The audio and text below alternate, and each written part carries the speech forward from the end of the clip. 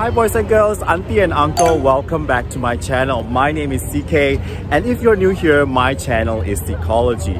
I am on a ferry at the moment heading to New York City. I just finished my tour of Statue of Liberty and I'm heading back to New York City. Now, New York City is a melting pot of many cultures and religion. There are every single religion and nationality you can think of they can be found in New York City. Now, I am a foodie and I'm actually very hungry because I've been saving up a lot of money eating grocery stuff but I'm going to explore the food scenery of New York City and New York City is of course the culinary capital of the world. Every single food you can imagine you can find in New York City. So I'm gonna take you to some of the best spots to eat in New York. And of course, many, many of these food uh, locations are packed to the max. So you really need to get there pretty early. So let's go and eat in the culinary capital of the world, New York City.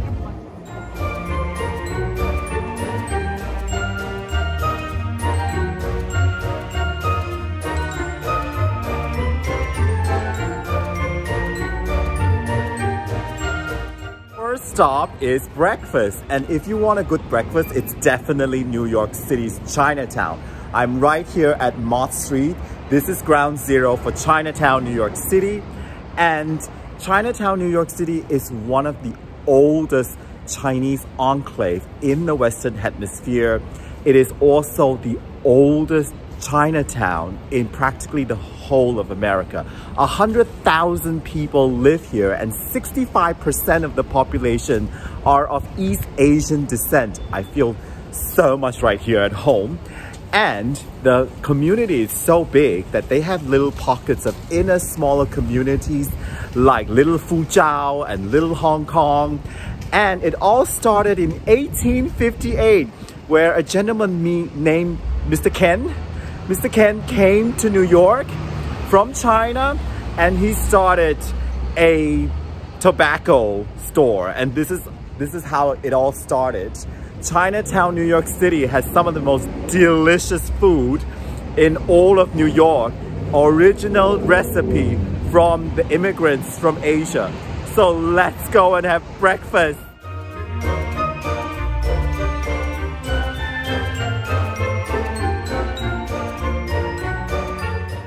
So I've got my breakfast here at Mei Lai Wah and there was a line before the shop even opened. This is Chinatown but not a lot of shop open early in the morning and here I am with my breakfast, siu ma. Just look at the meat, the amount of meat. Mm. The layer of the skin is actually very thin in comparing to ours. The meat is like so super chunky, look at that. Look at that siu Mmm. Mmm. There's siu mai. Ah. Spectacular. Okay, now my favorite dim sum is lo mai gai.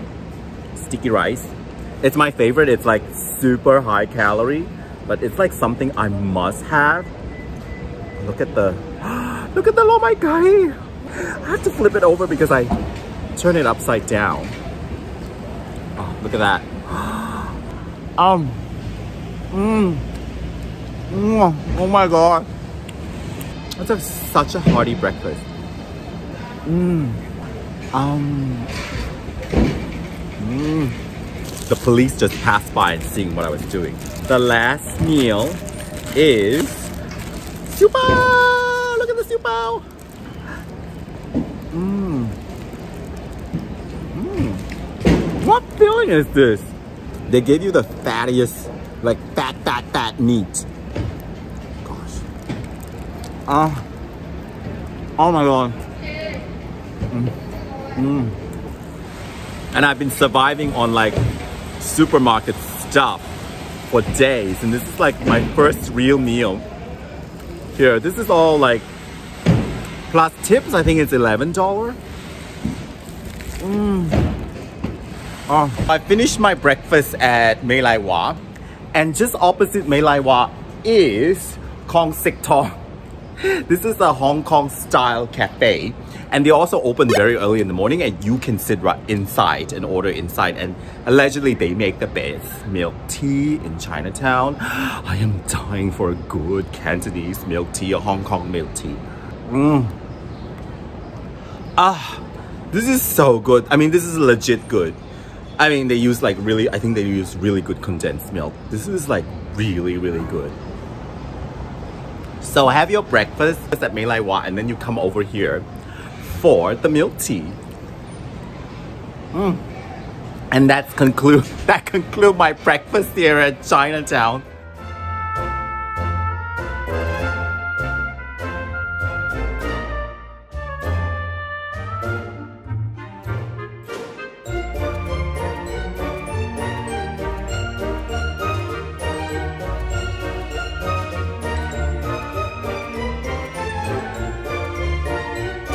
Arigato.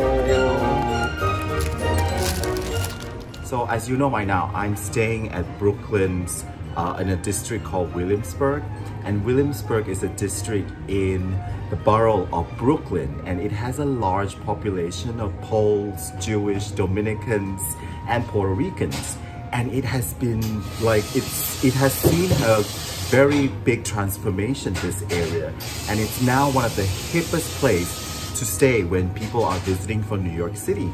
And I wish I can do a series of cafes here because there's so many cute cafes here and everybody recommended PPL. So it's like a corner cafe in Roebling Street and South First Street. And this place, I mean, it's very enchanting. That's the word I would put it. Very enchanting. And this is the place for coffee in the for, for my coffee in the morning. It's just, you're, you're, you're like sipping coffee in a greenhouse. And it's a bit, um, it's very artsy, very hippish. I love it. So the coffee here is good. And uh, yeah, and, and drop by because I think this is really the most unique cafes I have ever covered for my video.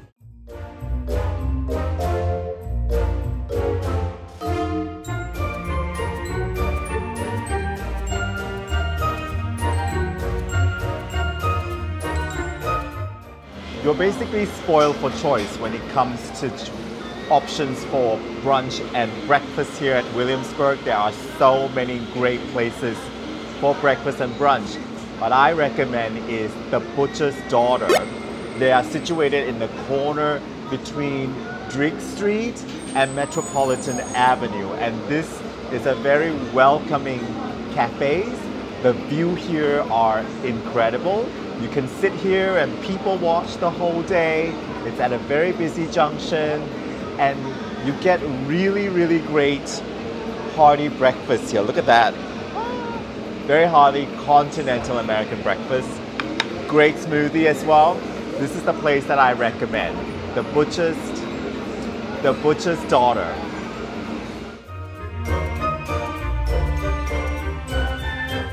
So I'm outside of Okonomi here in Williamsburg and I heard from the locals this place served the best Japanese sushi and ramen in town. And I heard, I saw and read the Google reviews are off the charts for this small little shop. So let's check it out.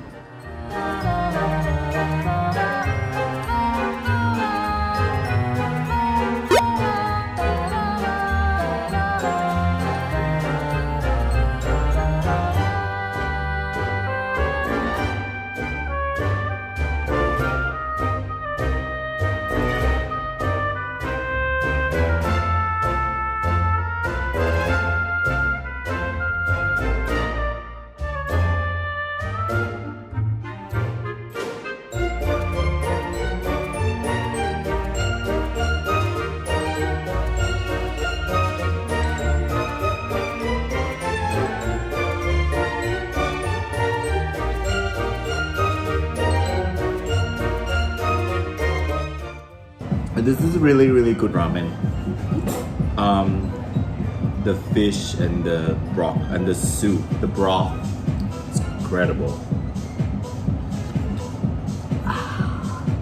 and I like the shop it's it's very compact. Yeah. Just like in Japan. Yeah. How um how long you guys been open since? Uh, almost 10 years? 10 years. So they've opened in 10 years. This is the best ramen in all of New York City. Okay.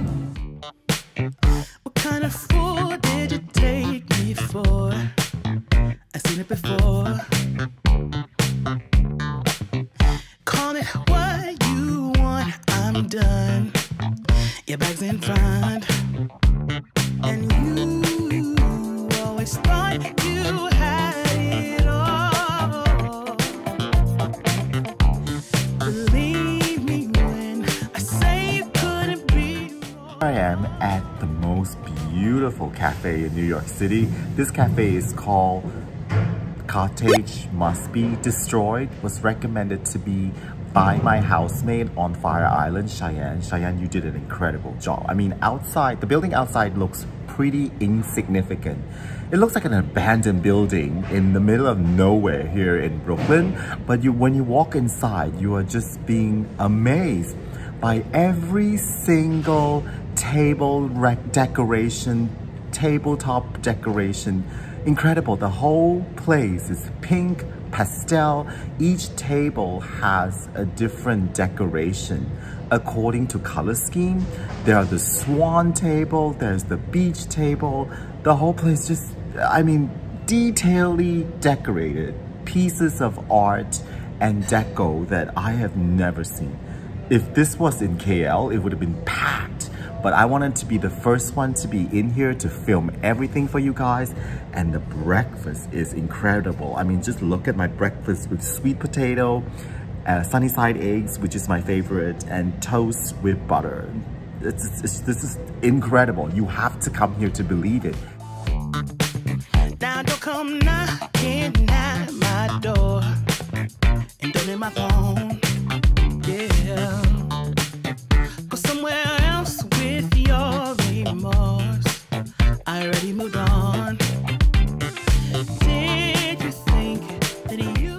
Here I am at Dumbo. Dumbo means down under the Manhattan Bridge overpass. And you are in New York. This is the birthplace of pizza. I don't think you can have bad pizza in New York, but this is the place. Oh my god. I mean, the line is insane. And we had to line up like pretty long pretty a long time, but they gave us the last seat, the last absolute seat here at Juliana's. So Juliana is run by a couple, the Grimaldi couple, and they make legendary pizza. They were voted the best pizza place in America three year in a row, 2015 to 2018. Number one in America, three years in a row. That's an accomplishment, right? So I I'm not really a fan of pizza, but you're in New York, so you have to. So this is Brooklyn Juliana's. So we ordered the look how massive this is. So we ordered the margarita, the simple. It's I really like this place. It's very non-pretentious, and it's like it's like a regular mom and dad pizza place. But first taste of the Juliana's pizza that ah, that everybody talked about.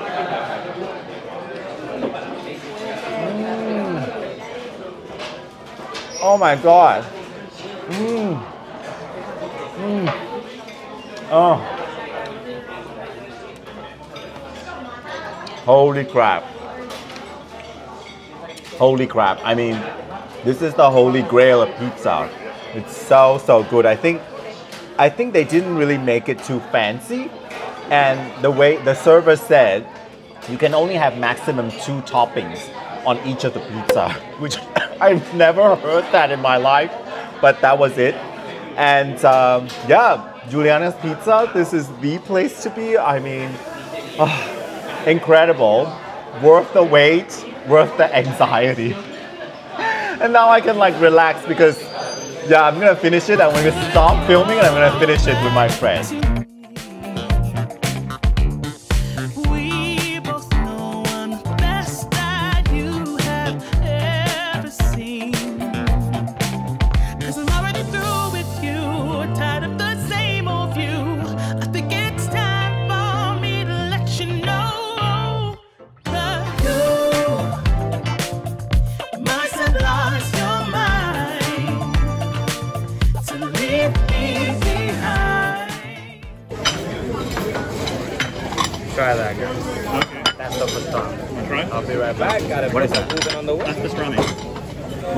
Time pastrami. Mmm. Oh my god. Very mmm.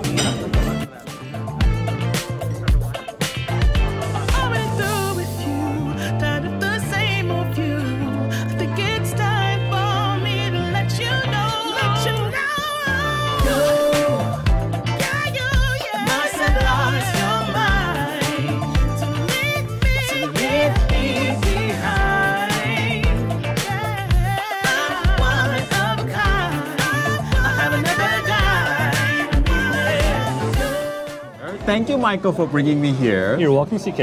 And Michael, you've been in you you you are from Washington State. I am. and then you moved to New York in 1994. That is correct. And you're a true New Yorker. Now I am. I mean, some people wouldn't say that because I wasn't born here, but I think of myself as a true New Yorker. Well, I'm glad you are, so that I can visit you. And Michael has brought me to the most iconic Jewish delicat deli deli Delicatessen. Just say delicatessen. deli. Everybody says deli.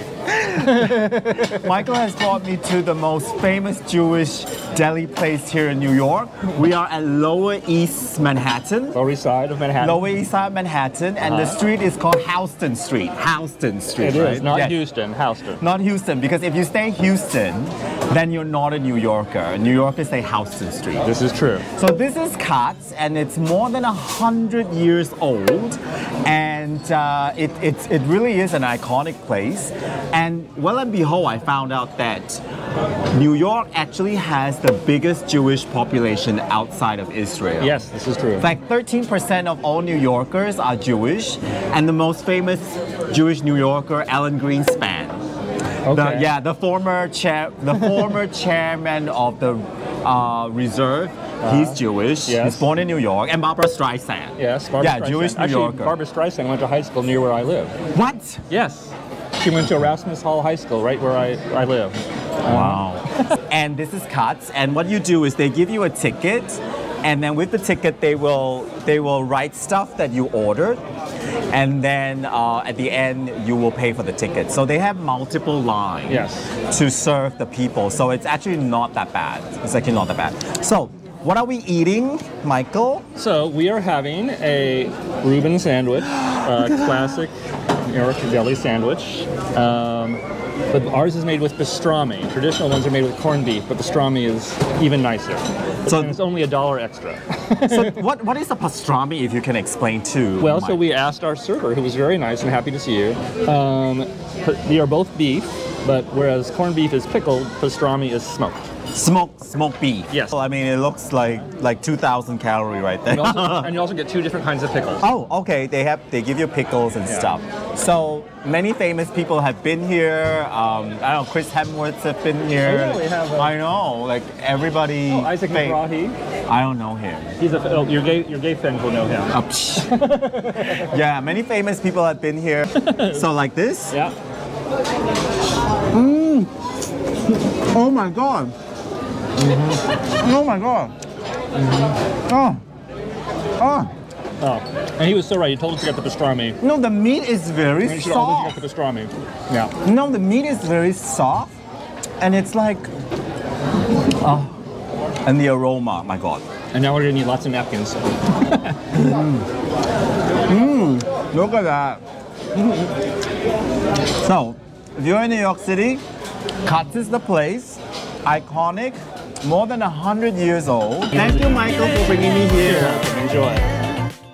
You must have lost your mind, yeah, to leave me behind. Ooh, I'm one of a kind.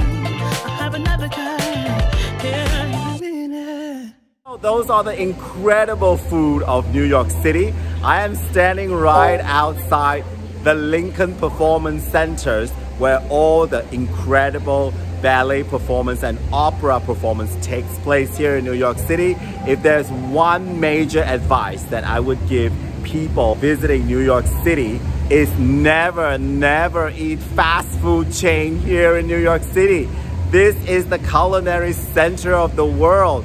everything from street food to fine dining. You can find it here in New York City as you can see in this video.